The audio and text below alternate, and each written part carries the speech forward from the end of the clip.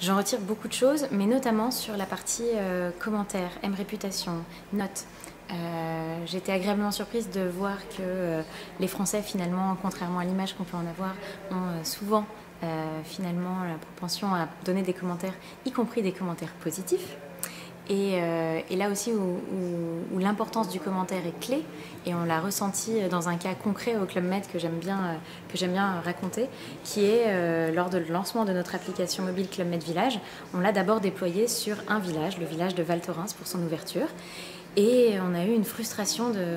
certains de nos clients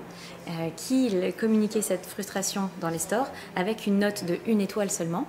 mais euh, une note qui, comme ça, aurait pu être prise comme très négative, finalement accompagnée du commentaire qui nous expliquait que c'était finalement une frustration de ne pas avoir l'application dans le village dans lequel ils partaient en vacances, rendait finalement leur commentaire presque positif et en tout cas très utile pour la stratégie du Club Med puisque ça a été un des leviers, euh, en tout cas une des raisons qui nous a fait accélérer sur le déploiement de l'application mobile dans nos villages Club Med.